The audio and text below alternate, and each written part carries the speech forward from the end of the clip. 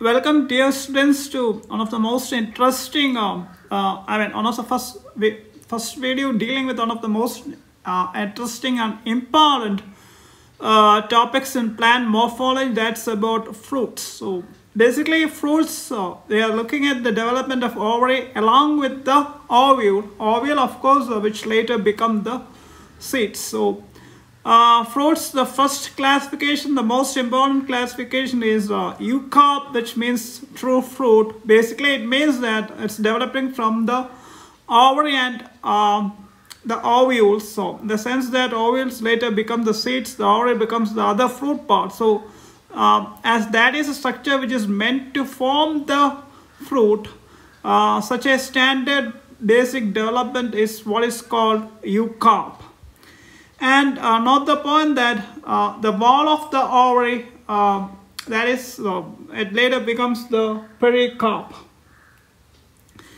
Now the second division is uh, the kind of division where uh, along with the ovary other parts of the flower other floral parts also develop or, or becomes parts of the fruit. That's what is called a false fruit. And um, the technical term is uh, pseudocarp and when which uh, so as I already told when other floral parts along with the ovary and the ovule is involved in fruit formation uh, we call it a false fruit um, or a pseudocarp uh, it can also be called a accessory fruit in the sense that uh, other floral parts are involved so that's a key point. So it's it's not that um, the ovary uh, with the ovules alone, alone is involved. Other floral parts are also taking part in the fruit formation. That's why it's called a uh, false fruit. And an interesting feature as far as a false fruit is concerned is that uh, there is a fusion with the pericarp. Uh, and the sense that uh, the pericarp fuses with the uh, other parts, other uh, parts of the uh, floral organs which uh, develop. Uh, so, so it's the pericarp is not uh, free as such. That's the part. I And important examples are apple, mulberry, and strawberry. And there's a very interesting special type of fruit development which is called parthenocarp, and, and the fruit is called parthenocarp, and the process, of course, is called parthenocarpy. Uh, basically, uh, it denotes uh, the development of uh, fruits uh, without fertilization. So, uh, which means that the seeds are seeds may not be there. The seeds are sterile, things like that. So, when fruits develop without fertilization, we call such a fruit a parthenocarp, and the process is called parthenocarpy. A very famous example is banana. Now, uh, going on, let's look at um, the type of fruits, uh, fruit development based off the based on the kind of flowers which are getting involved. Naturally, flower is a reproductive organ of uh, angiosperms, and we know that there's a huge range in the type of flowers. So, based on the on the on the kind of flowers which are involved in uh, fruit development, there could be differences. The first uh, uh, key category is what is called a simple fruit. Uh, it's also called a single or uh, I mean that's a case in which uh, a single or compound ovary is developing to form a fruit and of course uh, the opposite case is a composite uh, fruit or a multiple fruit which simply means that we aren't dealing with a single ovary so there could be many ovary parts involved.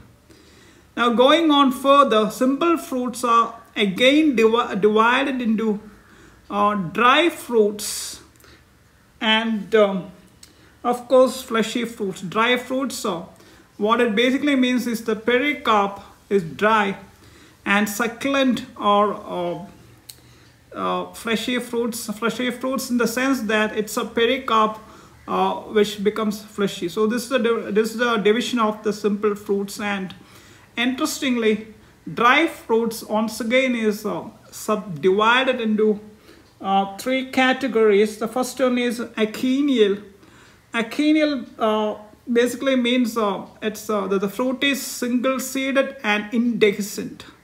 So that's the importance of achenial.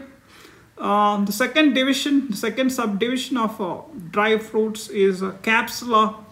Here we have many seeds and it's dehiscent. And the third case is uh, schizocarpic. And schizocarpic, once again, it's uh, many seeded. Uh, but interestingly, even though it's many seeded, uh, the fruit breaks into parts uh, which which which are uh, single seeded. That's that's the interesting point. So the fruit uh, breaks when it becomes ripe to single seeded pods. So uh, going on to uh, the last part of this introduction to what exactly is a fruit and what are the major uh, divisions into which fruits are classified. An important point we have to look at is uh, what is the key difference between uh, fleshy and dry fruits. Now this this is uh, taken separately as it's uh, very important the examination point of view. So fleshy basically means that the fruit wall, that is a pericarp, uh, is succulent or fleshy. Fleshy means that of course uh, it indicates that it's edible. It's not uh, very uh, tough skin. Uh, so that's the meaning of it. So the fruit wall or a pericarp is fleshy. But in dry fruits, the fruit wall is dry. Uh, it could be something like a papery. Another very important division between these two categories is that uh, fleshy uh, fruit wall has three layers. That is from the outside to the inside. The layers are epicarp, mesocarp and endocarp. So, so these are the three layers from the outside to the inside. So the innermost layer is endocarp. Uh, these three layers are very important as far as the examination point of view is concerned.